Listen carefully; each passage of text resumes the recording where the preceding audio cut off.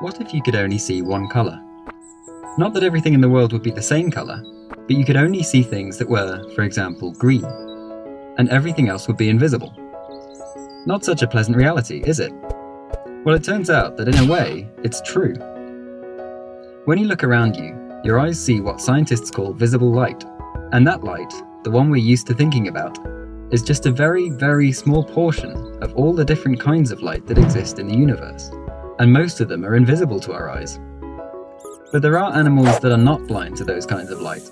That's why snakes can see even during moonless nights, and bees can see the flowers with the biggest amounts of pollen. They can see lights that we, humans, can't. Snakes can see infrared light, the same kind that allows you to see if you put night vision goggles on. And bees can see ultraviolet, the light that gets your skin burnt unless you protect yourself with sunscreen. All these lights are part of the electromagnetic spectrum, where there are also radio waves, microwaves, X-rays, and gamma rays, all the other lights that we can't see, but are essential to our daily life. Microwaves are used to heat up your food, and X-rays that can go through skin are used by doctors to see your bones. The thing is, the story of the universe, of galaxies, stars, and planets, is told through all of these different kinds of light.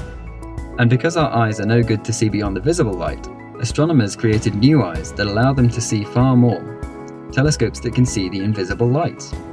ALMA is one of those telescopes. It can see radio waves.